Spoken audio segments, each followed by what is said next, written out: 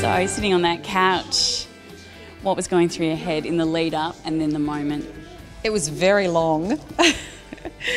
it just took forever. So I was just so thankful and relieved and um, and really emotional. Um, and and Jack was too.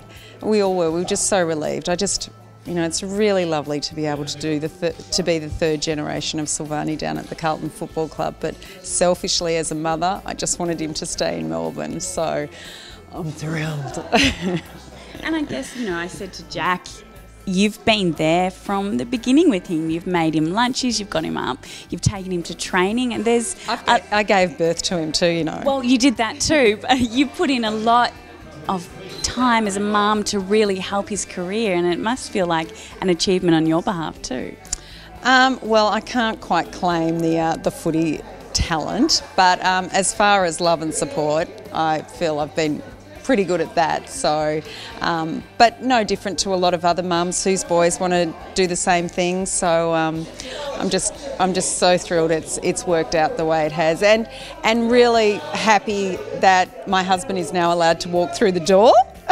because had it not panned out, Steve would have had to have found another place to live. Fair enough, fair enough. What did you say to Jack when you hugged him after he was he was drafted?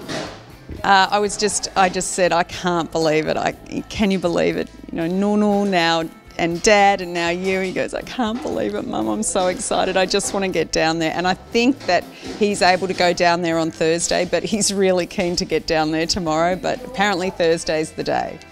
In relation to the lead up, I mean, I know that Jack was saying he's been kicking the footy and he's been trying to keep busy. What have you been doing to to handle those nerves? Um, we had a lot of family here tonight, so I've been preparing um, dinner and getting the house all ready. So uh, that's what I've been doing. okay, fair enough. And I guess this is just the beginning for him. He's still going to be at home, and he's still got a lot of years ahead.